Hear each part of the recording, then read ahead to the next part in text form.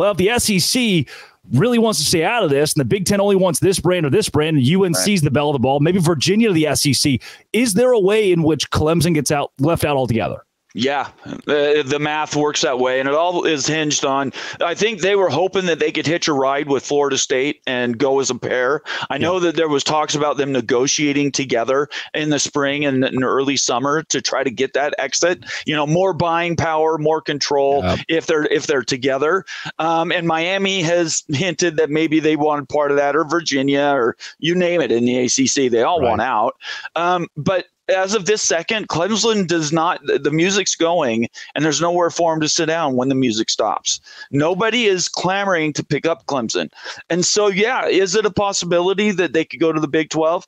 Look, here's the story. Anybody that's watching this right now, if you're an ACC fan, uh, don't take it personal. This already happened. You're going through the, the same throes that the Big 12 and the Pac 12, they went through this already. You're the third conference, the last conference to go through this. And so, because of that, you're feeling the most pain. So, you're going to uh, have those times where you get uh, in your news alert, you're going to hear the ACC is blowing up and you haven't heard anything about your school going anywhere. Those are real. Those are real concerns. And you guys are going to have to make a decision. Do you reconstitute your, your brand together, hoping that you can get enough AAC schools? Schools. Maybe you pick up the service academy, something like that, to make your yourself more valuable. Um, or are you going to become a 20, 25 million dollar a year school? And, and at the end of the day, that means you got people running for the covers. And those schools would be calling the Big 12, which right now is the only other unattached. Uh, the Big 12, the reason it's a destination for Miami or Clemson, even yeah. though they don't want to hear it, is because the SEC and the Eight, or the Big Ten don't want to get any bigger. The Big Ten has already said they only want to go to 20. That's it. So they're not coming back to get Utah. They're not coming back to get any uh, Stanford for that matter. The only way Stanford goes to the Big Big Ten is if Notre Dame goes. So it's like this musical, uh, this game of musical chairs. Everybody has to go somewhere, and right now the only one that's an open invite is the Big 12, and it, uh, it, uh, Miami and Clemson might not have a choice. Is there a realm in which the Big 12 decides to go 20 or bigger over the course of the next year or two? Because remember, in the summer, Brett Yormark had kind of said, hey, we're, we're, we're comfortable. We're happy with what we have. Then over the course of the last couple of weeks, he said, Hey, I'm pro consolidation. And Charlie Baker's the president for a reason. He's doing his job, which those comments seem a little more pro pro expansion in this respect with the way the ACC is turning. Do you believe Brett Yormark will be on the offensive here, whereas this may just fall in his lap?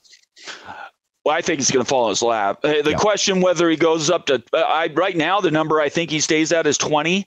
Uh, yeah. You get bigger than 16, it gets ungainly already. Uh, uh, going for more, you could. There's some ways that you can break numbers out. I've seen some things that say if it's 21, you could go three divisions of seven. All this other nonsense. Mm-hmm. In my opinion, uh, I think that the most he wants to go to, for right today is 20, unless, and this is the caveat, the ACC does go boom, and the and ESPN and Fox tell him if you pick up Clemson, you pick up uh, Miami, just name a two, uh, and then maybe you pick up Virginia Tech and Pitt. If yeah. you were able to get for those four schools, will they be able to renegotiate and maybe increase what their dollar amount is? Right now, the only pro rata is 32, right? Yeah. But if you add Clemson and Miami, you come in with with a Pitt and a Virginia Tech. What does your value go up to? And I would argue that it could go up considerably. I would say each school could potentially bring an extra million or two million per school to each uh, campus in the Big 12. That's very attractive. Yep. Going to 24, you're starting. I think people are that are talking 24 are kind of desperate. They're hoping they have a landing spot, uh, but right now it's it's tough to get past 16 with that too if you look at a boston college a syracuse here those are not those are not teams you're sticking your neck out for. This is a this is a conference, not an orphanage. We've had that exactly, conversation exactly on the show. Right. Yep. Is there a is there a Washington State, Oregon State scenario for a couple of these ACC teams that at the end of this will probably look up and not have a home? Yeah, I think so.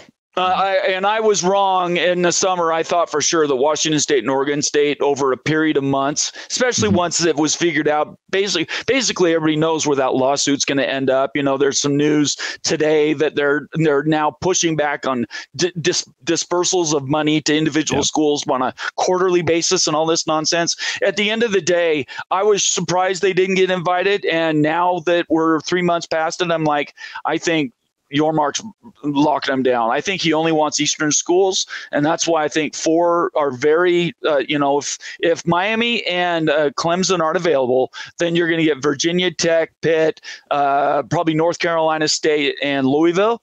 Yeah. And that's yeah. still a great four. Now that's not enough. Those those don't bring you enough uh, brand bling to increase your amount, but it'll probably keep the same pro rata. So at the very least, it, would be a strong program, uh, a strong conference. You have some good schools in it that has staying power.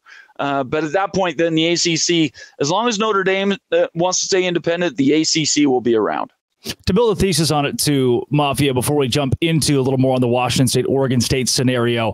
For Clemson and Miami to go to the Big 12 it's going to take the SEC and the Big 10 saying no and that's where you think both of those conferences lie right now I do at this point. Yeah. Uh, the only two, the, the only things that I would be seeing immediate move for is if North Carolina and Florida State could negotiate an entrance, maybe at a half rate like mm-hmm. Washington and Oregon got, then they would be in the Big Ten and then they would, you know, those financials would work out over time.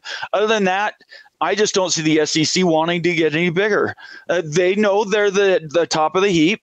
Yeah. And why make it more difficult for your own guys to get into the playoff? Because that's what this is all about. Is the more schools you add to your conference, it doesn't always make the path easier to get to the end goal just because you have more teams in the conference. So I I think staying smaller is what makes SEC unique. And they might only stay at 16. They go to 18 or something, but it's certainly not going to go past 20.